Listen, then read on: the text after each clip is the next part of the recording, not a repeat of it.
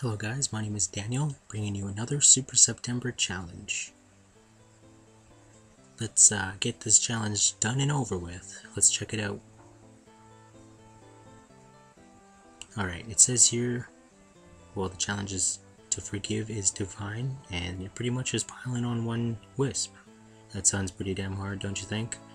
Alright, as you can see, I have four more, and then I'll get the title. I mean, not the title, the emote and uh, 10k loyalty points. Let's head over there and, yeah, do some divination.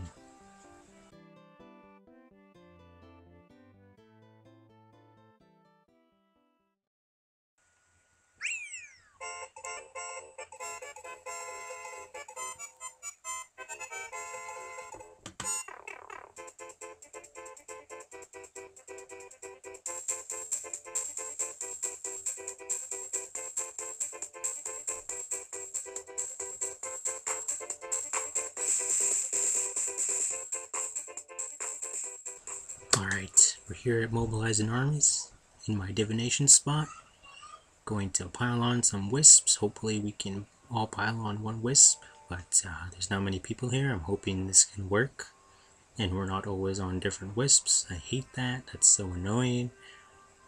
Especially when, you know, there's like four people around and enchanted wisps. I mean, yeah, enchanted wisps appear and you're the only one that goes to it and five other people are AFK that's so annoying. It's like god damn that's so much XP that you know just gets just disappears for another 20 minutes. More people are appearing. I, I'm hoping people are for the challenge. Alright. I wasn't going to do divination until Battle of, Battle of Lumbridge was finished but I guess I'm being forced to do divination right now for this challenge.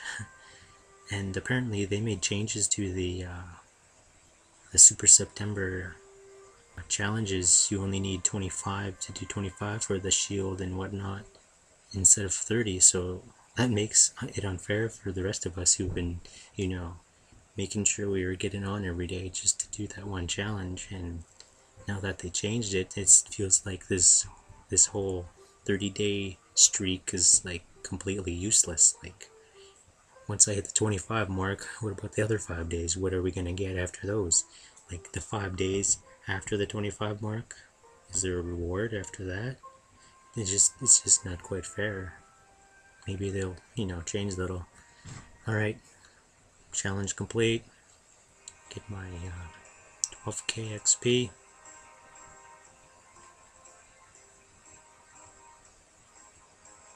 Alright, that's it for me.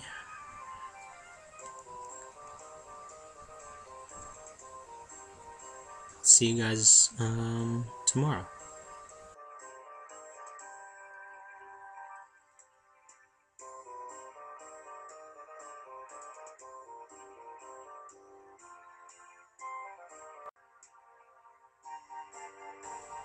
Toodles!